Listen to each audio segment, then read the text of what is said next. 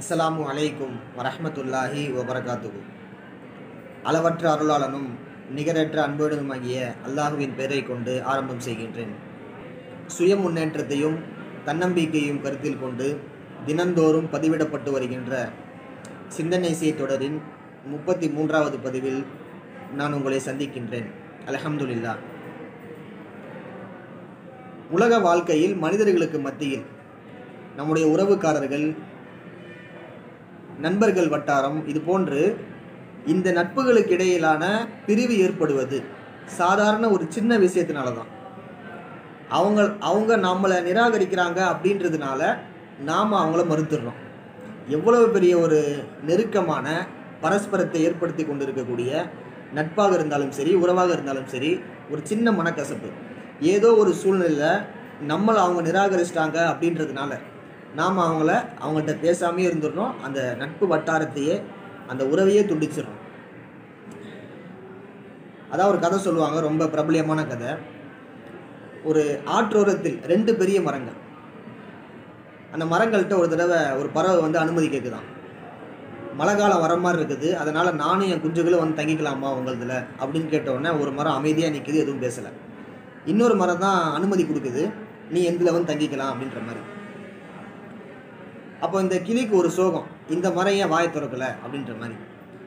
அதுக்கப்புறம் பின்னாட்களில் அந்த கிளி ஏற்பாடு செய்துவிட்டு தன் குஞ்சுகளோடு வந்து அனுமதி கொடுத்து அந்த மரத்தில் வந்து தங்கி விடுகிறது. நாட்கள் அப்படியே கழிகிறது. சிறிது காலத்திற்கு பின்பாக பெரிய பலத்த மழை ஏற்பட்டு ஆற்றங்கரையோடும் வெள்ளம் வெள்ளம் அடித்து செல்லப்படுகின்ற பொழுது அந்த வாயை துறக்காம பதில் கொடுக்காம நிராகரித்த அந்த மரம் வெள்ளத்தோடு சேர்ந்து அடிச்சிட்டு போகுது. அந்த பறவை அந்த மரத்தில் உட்காந்து இதை பார்த்து சிரிக்குது. நீ எனக்கு அனுமதி தராததுனால தான் இன்னைக்கு இந்த மாதிரி சூழ்நிலையில் நீ இருக்கிற அப்படின்னு சொல்லி ஒரு எள்ளி நகையாடி சிரிக்கின்றது இந்த பறவை. அப்போ அந்த அடித்து செல்லப்பட்ட மரம் சொன்னதான் நான் ரொம்ப பலகீனமான ஆள். எப்படியும் ஒரு நாள் அடுத்த மழை பெஞ்சுது அப்படின்னா நான் அடித்து செல்லப்படுவேன்னு தெரியும். அதனால் நான் அழிஞ்சு போகிறது மட்டும் இல்லாமல் இன்னொரு உயிரினங்களை அடிச்சிடக்கூடாதுன்ற பயத்தில் தான் நான் அப்படி சொன்ன நீ நீயும் உன்னுடைய குஞ்சுகளும் நல்லா வாழுங்க அப்படின்னு சொல்லி தன்னுடைய வருத்தத்தையும் அந்த சோகத்தையும் வெளிப்படுத்தி மன்னிப்பு கேட்டது. இந்த கதையில் நமக்கு புரிய வர விஷயம் நம்ம யாரையுமே அவ்வளோ சீக்கிரமாக நிராகரிச்சிடக்கூடாது. எதனால் வந்து அந்த வார்த்தையை அவங்க சொல்கிறாங்க அவங்களுக்கு பின்புலத்தில் என்ன விஷயம் இருக்குது?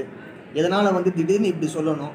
அப்படின்ற அந்த விஷயத்தை நம்ம ஆராய்ச்சி பார்த்தோம் அப்படின்னாலே நம்முடைய உறவுக்காரர்களுக்கு மத்தியில் நண்பர்களுக்கு மத்தியில் எந்தவித சண்டே சச்சரவும் இல்லாமல் அவங்க நம்மள்ட்ட எது சொன்னாலுமே நமக்கு அது நமக்கு பாசிபிலிட்டியாகவே தரும் என்பதில் எவ்வித சந்தேகமும் கிடையாது.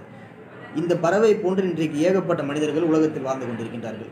தவறாக புரிந்து விடுவது ஒரு சின்ன விஷயத்துக்காக நம்மளை நிராகரித்தாங்க அப்படின்னா அவங்கள மறுத்துடுறது. இதுவெல்லாம் நம்முடைய உறவு உறவுகளையும் நட்பு வட்டாரங்களையும் துண்டிக்கக்கூடிய சர்வ சாதாரணமான காரணிகள். இது போன்ற நிலைமைகளை விட்டும் இறைவன் உங்களையும் என்னையும் பாதுகாப்பானாக. அஸ்லாம் வலைக்கும் வரமத்துல்லாஹி வபரகாத்து